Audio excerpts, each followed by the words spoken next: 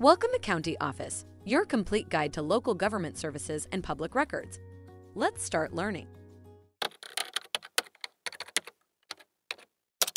What is a notice of appeal in court?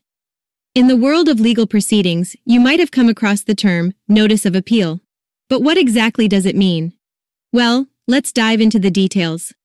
A notice of appeal is a formal declaration by a party in a lawsuit, typically the losing party, that they intend to challenge the court's decision in a higher court. This document is the initial step in the appeal process. It's like a formal announcement that says, Hey, I don't agree with this decision, and I want another court to review it. It's crucial to note that a notice of appeal must be filed within a specific time frame after the judgment, usually 30 days, but it can vary depending on the jurisdiction. The notice of appeal itself doesn't contain the reasons for the appeal. It simply notifies all parties involved that an appeal is being pursued. The specific arguments and reasons for the appeal are presented later in a separate document known as the appellant's brief.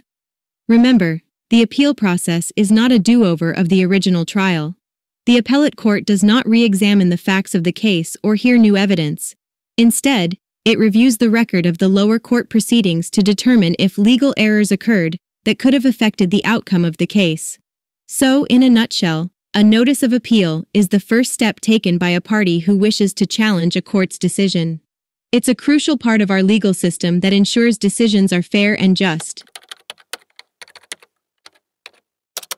Take a look at the links in the description below to learn more.